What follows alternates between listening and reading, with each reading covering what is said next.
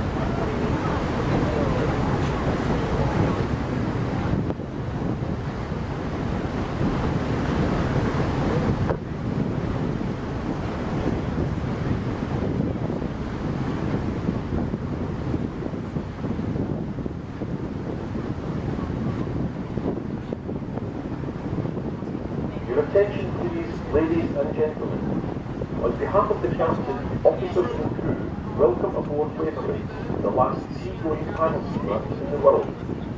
Please listen carefully to the following passenger safety announcement.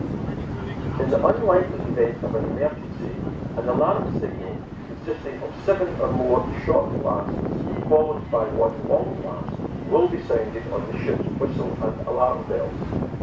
On hearing this signal, should proceed immediately to the nearest assembly station.